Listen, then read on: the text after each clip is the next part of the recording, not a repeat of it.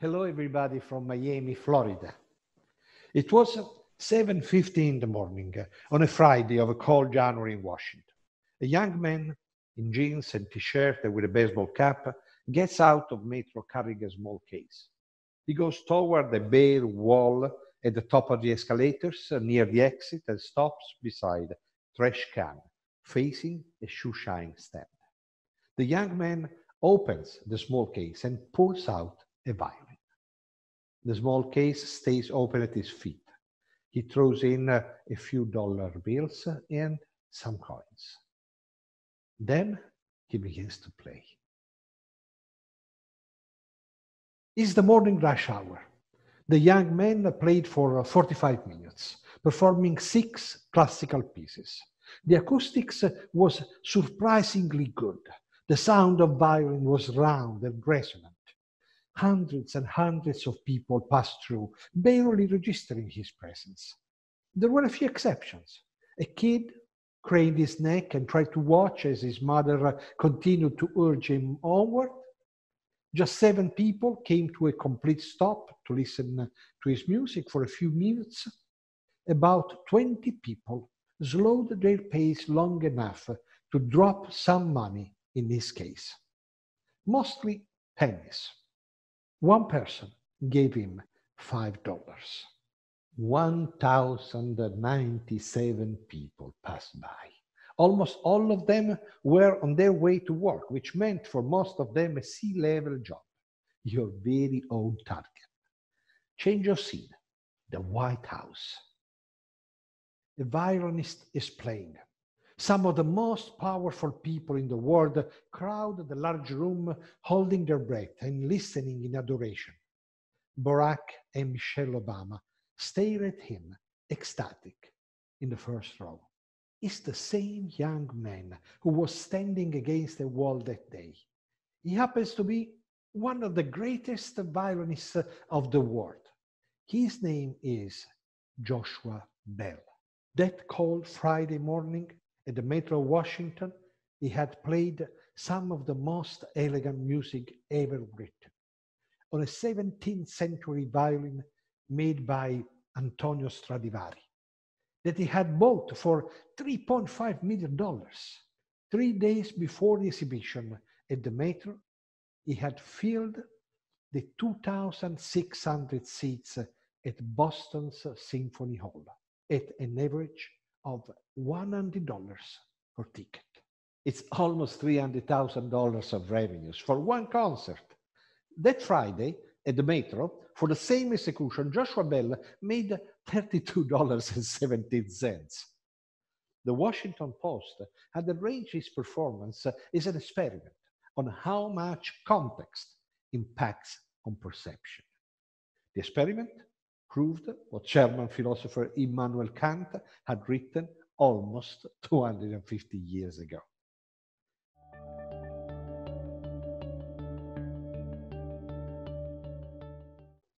Once, Joshua Bell told me, when you play a violin piece, you are a storyteller, you are telling a story. I am a storyteller. I tell stories at your events.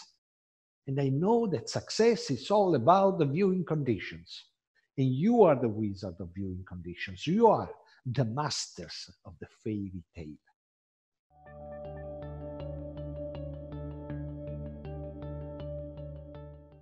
Look at what's happening nowadays. We all moved online. We didn't have a choice, so we did it. But if we take a keynote speaker, even one of the greatest speakers in the world, as Joshua Bell is one of the greatest violinists, and we sit him in front of a webcam, like hundreds of people we have been FaceTiming, Zooming, Skyping over the years. What happens to his charisma? He's just another guy at his desk talking to a computer. He's just another talking head. Or we can do it in a different way. Hello, everybody. It's John Legend here. Welcome to the show. Welcome to our virtual club. This is virtual me. I'm singing live. I'm in a motion capture suit right now. And we're gonna have if you don't fill the vacuum with videos, animation, graphics, virtual worlds. What's left? He is just a talking head. If you take away the stage, the environment, the frame of the artwork, what happens is for Joshua Bell, the magic disappears. Luckily, there are solutions to recapture the magic and much more because uh, we'll soon get back to live events and the magic will flourish again, making them memorable. With one difference all the new technologies that are emerging now as we speak. When the lockdown will be over, we will find a different world. New technologies will be available to recreate the magic and make your events remarkable. High speed networks will allow real time spatial effects. We will wow the audience with mixed reality, indoors or outdoors. Stages will change. You will set design with holograms. Robots will perform on stage. And dance too. We, keynote speakers, will have amazing remote control. And we will move inside bubbles. Last year, there was a, a big survey involving uh, 3,000 top executives of medium and big companies worldwide. The survey was made by Harvard Business Review, Ernst & Young, IBM Research, top of class.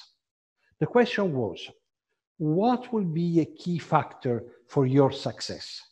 And they could give uh, up to three answers. So what did they answer? Well, I'll probably need uh, uh, a screen for this. Look, 52% said robots. Understandable. Most of them were uh, manufacturing companies. 60% said digital transformation. Hmm. They will better hurry up. 72% said disruptive tech, and 80% said artificial intelligence.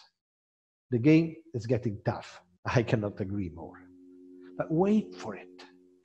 It's not finished. There is a surprise. Look at this 99% said events. 99% of the 3,000 top executives of medium and big companies in the world think that you guys are the key factor for their success.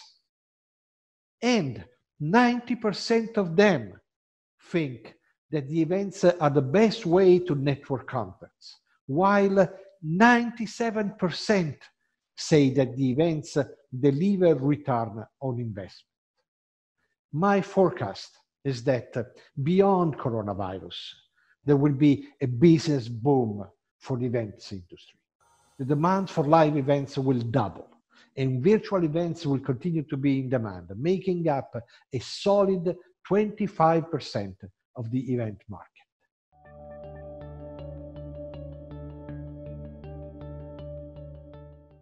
Let me leave you with a recommendation.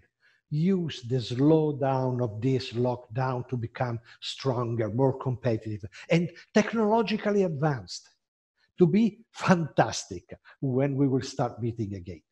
I'm doing it myself. My next keynote will be a time travel with a time machine on stage, animation and special effects, and all the new technologies that will make wonderful our life in the future. I'm Vito Di Bari, and this is my open letter to the event industry. Thank you.